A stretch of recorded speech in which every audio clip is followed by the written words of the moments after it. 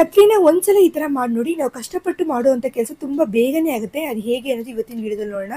ಇದ್ರ ಜೊತೆಗೆ ಇನ್ನೂ ಕೆಲವು ಯೂಸ್ ಆಗುವಂತ ಮನಿ ಸೇವಿಂಗ್ ಟಿಪ್ಸ್ನ ಕೂಡ ನೋಡೋಣ. ವಿಡಿಯೋ ತುಂಬಾನೇ ಇಂಟ್ರೆಸ್ಟಿಂಗ್ ಆಗುತ್ತೆ. ಸ್ಕಿಪ್ ಮಾಡದೆ ಪೂರ್ತಿಯಾಗಿ ನೋಡಿ. Hi friends welcome back to my channel Maneye Mantralaya ನೀವೇನಾದರೂ ಈ ಚಾನಲ್ನ ಮೊದಲನೇ ಬಾರಿ ನೋಡ್ತಾ ಇದ್ರೆ ಚಾನಲ್ಗೆ ಸಬ್ಸ್ಕ್ರೈಬ್ ಮಾಡಿಕೊಂಡು ಜೊತೆಗಿರೋ ಬೆಲ್ಲೈಕನ್ನ ಕೂಡ ಕ್ಲಿಕ್ ಮಾಡಿ ಇಟ್ಕೊಳ್ಳಿ ಬನ್ನಿ ಈಗ ವಿಡಿಯೋ ಏನು ಅಂತ ನೋಡೋಣ. ಮೊದಲನೇ ಟಿಪ್ಸ್ ಅಲ್ಲಿ ಈ ತರ ಹಳೆದಾಗಿರುವಂತಹ ದೀಪ ತಗೊಂಡಿದ್ದೀನಿ ಹಳೆದಾಗಿರ್ಬೋದು ಅಥವಾ ಬಿರುಕು ಬಿಟ್ಟಿರ್ಬೋದು ಈ ತರ ಇರುವಂತಹ ದೀಪಗಳನ್ನ ನಾವು ಉಪಯೋಗಿಸಿ ಹಾಗೆ ಇಟ್ಟಿರ್ತೀವಿ ಅಥವಾ ಬಿಸಾಕ್ತಾ ಇರ್ತೀವಿ. ಈ ಟಿಪ್ಸ್ ತಿಳಿದ್ರೆ ಖಂಡಿತ ನೀವು ಒಂದು ದೀಪನ್ ಕೂಡ ವೇಸ್ಟ್ ಮಾಡೋದಿಲ್ಲ. ಈ ತರ ನಾವು ತಗೊಂಡಿರುವಂತಹ ದೀಪನ ಕುಟ್ಟು ಕಲ್ಲಲ್ಲಿ ಹಾಕೊಂಡು ತುಂಬಾ ನೈಸ್ ಆಗಿ ಪುಡಿ ಪುಡಿಯಾಗಿ ಕುಟ್ಕೊಂಡು ತಗೋಣ. ಇವಾಗ ನೋಡಿ ತುಂಬಾ ನೈಸ್ ಆಗಿ ಪುಡಿಯಾಗಿ ಸಿಕ್ಕಿದೆ. ಇದನ್ನ ಇವಾಗ ನಾವು ಒಂದ್ ಬಟ್ಲಲ್ಲಿ ಹಾಕೋಣ. ನೆಕ್ಸ್ಟ್ ಈ ಪುಡಿ ಜೊತೆಗೆ ವಿಮ್ ಲಿಕ್ವಿಡ್ನ ಸೇರಿಸ್ತಾ ಇದೀನಿ ವಿಮ್ ಲಿಕ್ವಿಡ್ ಇಲ್ಲ ಅಂದ್ರೆ ಅದ್ರ ಬದಲಾಗಿ ನಾವು ಕ್ಲಿನಿಕ್ ಪ್ಲಸ್ ಶಾಂಪೂನ ಕೂಡ ಉಪಯೋಗಿಸ್ಕೋಬಹುದು ಜಾಸ್ತಿ ಹಾಕ್ಬೇಕಾಗಿಲ್ಲ ಅರ್ಧ ಸ್ಪೂನ್ ಅಷ್ಟು ಹಾಕಿದ್ರೆ ಸಾಕು. ಇದ್ರ ಜೊತೆಗೆ ನಾನು ಅರ್ಧ ನಿಂಬೆಹಣ್ಣ ಕಟ್ ಮಾಡಿ ತಗೊಂಡಿದ್ದೀನಿ ಅದ್ರ ರಸನ ಇದ್ರಲ್ಲಿ ಹಾಕೋಣ.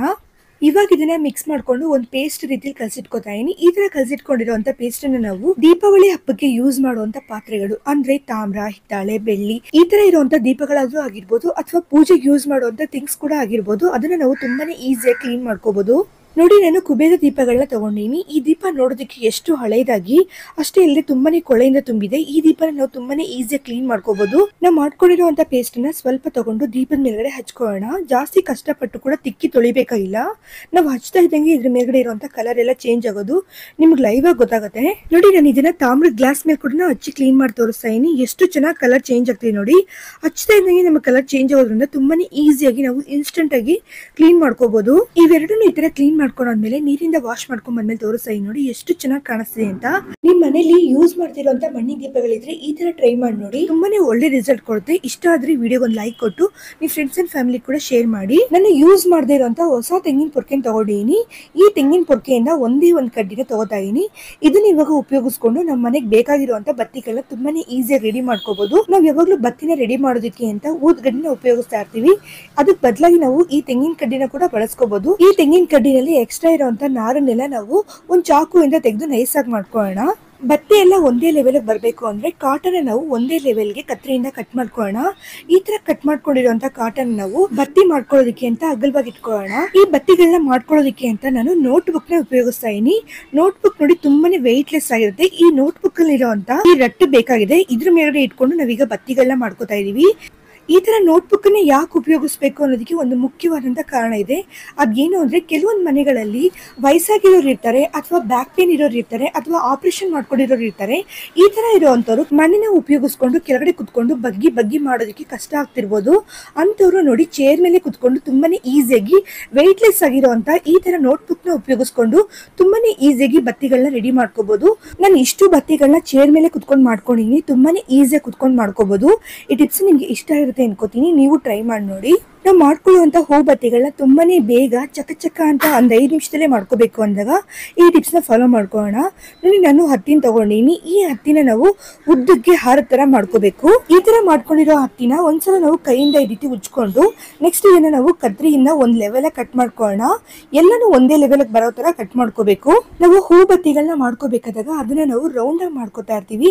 ಈ ತರ ರೌಂಡ್ ಆಗಿರೋ ಬತ್ತಿನ ಉಪಯೋಗಿಸಿದಾಗ ಅದು ಬಿದೋಗ್ತಾ ಇರುತ್ತೆ, ನಿಲ್ಲೋದಿಲ್ಲ ಸ್ಟ್ರೈಟ್ ಆಗಿ. ಅದ್ರ ಬದಲಾಗಿ ನೋಡಿ, ಈ ತರ ಮಾಡ್ಕೊಳ್ಳೋಣ. ನಾವು ಹೂ ಬತ್ತಿನ ಮೇಲ್ಗಡೆ ಯಾವ ತರ ಮಾಡ್ಕೋತೀವೋ ಆ ಥರ ತಿರುಗಿಸ್ಕೊಂಡಾದ್ಮೇಲೆ ಕೆಳಗಡೆ ಇರುವಂತ ಬತ್ತಿನ ನಾವು ಈ ತರ ಫ್ಲಾಟ್ ಆಗಿ ಇಟ್ಕೋಬೇಕು. ಈ ತರ ಮಾಡ್ಕೊಂಡಿರುವಂತ ಬತ್ತಿನ ನಾವು ಯಾವ ತರ ಆಡ್ಸಿದ್ರು ಅದು ಬಿದೋಗೋದೇ ಇಲ್ಲ. ನೀಟಾಗಿ ಹೇಗಿಟ್ಟಿದ್ವೋ ಹಾಗೆ ನಿಲ್ಲುತ್ತೆ. ನಾವು ಆಲ್ರೆಡಿ ಈ ತರ ರೌಂಡ್ ಆಗಿರುವಂತ ಹೂ ಬತ್ತಿಗಳನ್ನ ಮಾಡ್ಕೊಂಡಿದ್ರೆ ಇದನ್ನ ಉಪಯೋಗಿಸ್ಬೇಕಾದಾಗ ನೋಡಿ ಕೈಯಿಂದನೇ ಈ ರೀತಿ ಅಗಲವಾಗಿ ಮಾಡ್ಕೊಂಡು ಇದನ್ನ ನಾವು ದೀಪದಲ್ಲಿಟ್ಟು ಉಪಯೋಗಿಸ್ಕೊಳ್ಳೋಣ. ನೋಡಿ ನಾನು ಈ ಬತ್ತಿನ ದೀಪದಲ್ಲಿಟ್ಟು ತೋರಿಸ್ತಾ ಇದೀನಿ. ಎಷ್ಟು ಚೆನ್ನಾಗಿ ನಾವು ಹೇಗಿಟ್ಟಿದ್ವೋ ಹಾಗೆ ಇದೆ ಅಂತ. ಸ್ವಲ್ಪ ಕೂಡ ಅದು ಕದ್ಲೋದೇ ಇಲ್ಲ. ಇನ್ಮೇಲೆ ಹೂ ಬತ್ತಿನ ಉಪಯೋಗಿಸ್ಬೇಕಾದಾಗ ನೀವು ಈ ಟಿಪ್ಸ್ ಫಾಲೋ ಮಾಡ್ಕೊಳ್ಳಿ. ನೋಡಿ, ಒಂದ್ ದೀಪನ್ ತಗೊಂಡು ಅದನ್ನ ಹಚ್ಚಿಟ್ಕೋತಾ ಇದೀನಿ. ಈ ತರ ಉರಿತಾರ ಅಂತ ದೀಪದ ಮೇಲ್ಗಡೆ ಕತ್ರಿನ ತಗೊಂಡು ಬಿಸಿ ಮಾಡ್ಕೋತಾ ಇದೀನಿ. ಕತ್ರಿನ ಈ ತರ ಬಿಸಿ ಮಾಡೋದ್ರಿಂದ ಏನಾಗುತ್ತೆ ಅಂದ್ರೆ ನಾವ್ ಯೂಸ್ ಮಾಡುವಂತ ಕತ್ರಿ ತುಂಬಾ ಹಳೇದಾಗಿರ್ಬೋದು, ಕೊಳೆಯಿಂದ ಇರ್ಬೋದು ಅಥವಾ ಮೊಂಡಾಗಿರ್ಬೋದು, ಈ ತರ ಇರುವಂತ ಕತ್ರಿಗಳನ್ನ ಸರಿ ಮಾಡ್ಕೊಳಕ್ಕಾಗದೆ ಅದನ್ನ ಬಿಸಾಕಿ ಹೊಸ ಕತ್ರಿಗಳನ್ನ ತಗೋತಾ ಇರ್ತೀವಿ. ಇನ್ಮೇಲೆ ಹೊಸ ಕತ್ರಿ ತಗೋಬೇಕಾಗಿಲ್ಲ, ಹಳೆ ಕತ್ರಿಗಳನ್ನ ನಾವು ತುಂಬಾನೇ ಈಸಿಯಾಗಿ ಕ್ಲೀನ್ ಮಾಡ್ಕೊಂಡು ಹೊಸ ಕತ್ರಿಯಾಗಿ ಮಾಡ್ಕೋಬಹುದು ಇವಾಗ ಕತ್ರಿನಲ್ಲಿ ಒಂದ್ ಸೈಡ್ ಮಾತ್ರ ನಾವು ಬಿಸಿ ಮಾಡ್ಕೊಂಡು ತಗೊಂಡಿದೀವಿ. ಬಿಸಿಯಾಗಿರುವಂತ ಕತ್ರಿ ಮೇಲ್ಗಡೆ ಹಳೇದಾಗಿರುವಂತ ಮಣ್ಣಿನ ಗಿಡದಿಂದ ಉಚ್ಕೊಳ್ಳೋಣ ಈ ತರ ಮಾಡೋದ್ರಿಂದ ಏನಾಗುತ್ತೆ ಅಂದ್ರೆ ಕತ್ರಿನಲ್ಲಿರುವಂತ ಬಿಸಿ ಜೊತೆಗೆ ನಾವ್ ಈ ತರ ಉಚ್ಕೊಳ್ಳೋದ್ರಿಂದ ಆದಷ್ಟು ಬೇಗ ಕತ್ರಿ ಶಾರ್ಪ್ ಸಿಗುತ್ತೆ ಅದು ತುಂಬಾ ತುಂಬಾನೇ ಶಾರ್ಪ್ ಆಗುತ್ತೆ. ಇದೇ ತರನೇ ಕತ್ರಿ ಇನ್ನೊಂದ್ ಸೈಡ್ ಕೂಡ ನಾವು ಬೆಂಕಿಯಿಂದ ಬಿಸಿ ಮಾಡ್ಕೊಂಡು ದೀಪದಿಂದ ಉಜ್ಕೊಳ್ಳೋಣ. ಕತ್ರಿ ಅಷ್ಟೇ ಇಲ್ದೇನೆ ಇದೇ ತರ ಮೊಂಡಾಗಿರುವಂತ ಚಾಕುನ ಕೂಡ ತುಂಬಾನೇ ಈಸಿಯಾಗಿ ಶಾರ್ಪ್ ಮಾಡ್ಕೋಬಹುದು ಕತ್ರಿನ ವಿಮ್ ಲಿಕ್ವಿಡ್ ಹಾಗೆ ಸ್ಕ್ರಬ್ಬರ್ ಇಂದ ಕ್ಲೀನ್ ಮಾಡ್ಕೊಂಡ್ ಬಂದ್ಮೇಲೆ ತೋರಿಸ್ತಾ ನೋಡಿ ಎಷ್ಟು ಚೆನ್ನಾಗಿ ಕಾಣುತ್ತೆ ಅಂತ. ಹಾಗೆ ಪೇಪರ್ನ ಕೂಡ ಕಟ್ ಮಾಡಿ ತೋರಿಸ್ತಾ ನೋಡಿ ಎಷ್ಟು ಸ್ಪೀಡ್ ಆಗಿ ಕಟ್ ಆಗ್ತಿದೆ ಅಂತ. ನಿಮ್ಮನೇಲೂ ಮೊಂಡಾಗಿರುವಂತ ಹಳೆ ಕತ್ರಿಗಳಿದ್ರೆ ಇವಾಗಲೇ ಈ ಟಿಪ್ಸ್ನ ಟ್ರೈ ಮಾಡಿ ನೋಡಿ. ಟ್ರೈ ಮಾಡಿ ನೋಡಿ ಬಂದು ನನಗೆ ಕಮೆಂಟ್ ಹಾಕಿ. ನೋಡಿ ಒಂದು ಪ್ಲಾಸ್ಟಿಕ್ ಬಾಟಲ್ನ ತಗೊಂಡಿದ್ದೀನಿ ಈ ಪ್ಲಾಸ್ಟಿಕ್ ಬಾಟಲ್ ಮೇಲ್ಗಡೆ ಮಾರ್ಕ್ ಹಾಕೊಂಡಿದ್ದೀನಲ್ಲ ಅದ್ರ ಮೇಲ್ಗಡೆ ನಾವು ಕಟ್ ಮಾಡಿ ತಗೋಣ. ಇವಾಗ ಈ ತರ ಬಂದಿರುವಂತ ಪ್ಲಾಸ್ಟಿಕ್ ಬಾಟಲ್ ಹಬ್ಬಕ್ಕೆ ಬೇಕೇ ಬೇಕಾಗುತ್ತೆ. ಇವಾಗ ಈ ಬಾಟಲ್ ನಾವು ಹಾಗೆ ಉಪಯೋಗಿಸ್ಕೋಬಹುದು ಅಥವಾ ಇದ್ರ ಮೇಲ್ಗಡೆ ಪೇಂಟ್ ಆಗ್ಲಿ ಅಥವಾ ಸ್ಟಿಕ್ಕರ್ ಆಗ್ಲಿ ಸ್ಟಿಕ್ ಮಾಡ್ಕೊಂಡು ಯೂಸ್ ಮಾಡ್ಕೋಬಹುದು ನೋಡಿ ನಾನು ಇವಾಗ ಪ್ಲಾಸ್ಟಿಕ್ ಬಾಟಲ್ ಹಾಗೆ ಉಪಯೋಗಿಸ್ತಾ ಇದೀನಿ ಉಪಯೋಗಿಸೋದಕ್ಕೂ ಮುಂಚೆ ಇದ್ರ ಮೇಲ್ಗಡೆ ಒಂದು ಚಿಕ್ಕದಾಗಿ ಹೋಲ್ಸ್ ಹಾಕೋಣ. ಈ ತರ ಹೋಲ್ಸ್ ಹಾಕಿರುವಂತ ಪ್ಲಾಸ್ಟಿಕ್ ಬಾಟಲ್ನಲ್ಲಿ ದೀಪನ ಇಟ್ಕೋತಾ ಇದೀನಿ ನಾನು ಈ ತರ ದೊಡ್ಡದಾಗಿರುವಂತ ದೀಪನ ಇಟ್ಕೋತಾ ಇದೀನಿ ಅಕಸ್ಮಾತ್ ಚಿಕ್ಕದಾಗಿರುವಂತ ದೀಪನ ಇಟ್ಕೋಬೇಕು ಅಂದಾಗ ಇದ್ರ ಕೆಳಗಡೆ ಫ್ಲಾಟ್ ಆಗಿರುವಂತ ಪ್ಲೇಟ್ನ ಇಟ್ಕೊಂಡು ಅದ್ರ ಮೇಲ್ಗಡೆ ದೀಪನ ಇಟ್ಕೊಳ್ಳೋಣ. ದೀಪಾವಳಿಗೆ ಹಾಗೂ ಕಾರ್ತಿಕ ಮಾಸದಲ್ಲಿ ನಾವು ಬಾಗ್ಲ ಹತ್ರ ದೀಪ ಇಡ್ತಾ ಇರ್ತೀವಿ. ನಮ್ಮನೆಗೆ ಚಿಕ್ಕ ಮಕ್ಕಳಿದ್ದಾರೆ ಅಥವಾ ಪೆಟ್ಸ್ ಏನಾದ್ರು ಇದೆ ಅಂದಾಗ ಗೊತ್ತು ಗೊತ್ತಿಲ್ಲೇನೋ ಹೋಗಿ ಹೋಗಿ ದೀಪನ ಮುಟ್ತಾ ಇರ್ತಾರೆ. ಈ ತರ ಮುಟ್ಟಿರೋದಕ್ಕೋಸ್ಕರ ಬಾಗಿಲು ಪಕ್ಕದಲ್ಲಿರುವಂತ ಆಣಿನಲ್ಲಿ ಮಕ್ಕಳಿಗೆ ಎಟಕ್ತಾ ಇರುವಂತ ಜಾಗದಲ್ಲಿ ಇದನ್ನ ಇಟ್ಟು ಯೂಸ್ ಮಾಡ್ಕೋಬಹುದು ಈ ತರ ದೀಪ ಹಚ್ಚಿಡೋದು ನೋಡೋದು ಕೂಡ ಚೆನ್ನಾಗಿ ಕಾಣಿಸುತ್ತೆ. ಅಷ್ಟೇ ಇಲ್ಲದೆ ತುಂಬಾ ಸೇಫ್ಟಿಯಾಗಿ ಕೂಡ ಇರುತ್ತೆ. ನೀವು ಟ್ರೈ ಮಾಡಿ ನೋಡಿ. ನಾನು ಇವಾಗ ಖಾಲಿಯಾಗಿರುವಂತ ಚಾಕ್ಲೇಟ್ ಬಾಕ್ಸ್ ತಗೊಂಡಿದ್ದೀನಿ ಇದನ್ನ ಉಪಯೋಗಿಸ್ಕೊಂಡು ಒಂದ್ ರೂಪಾಯಿ ಕೂಡ ಖರ್ಚಿಲ್ದೇನೆ ತುಂಬಾನೇ ಈಸಿಯಾಗಿ ಅಟ್ರಾಕ್ಟಿವ್ ಆಗಿ ಕಾಣುವಂತ ಲ್ಯಾಂಪ್ನ ರೆಡಿ ಮಾಡ್ಕೋಬಹುದು ಈ ಬಾಕ್ಸ್ನ ಮಧ್ಯದಲ್ಲಿ ರೆಕ್ಟಾಂಗಲ್ ಶೇಪ್ ಅಲ್ಲಿ ಮಾರ್ಕ್ ಮಾಡ್ಕೊಂಡಿದ್ದೀನಿ ಈ ತರ ಆರ್ ಪೀಸಸ್ ಇದೆ.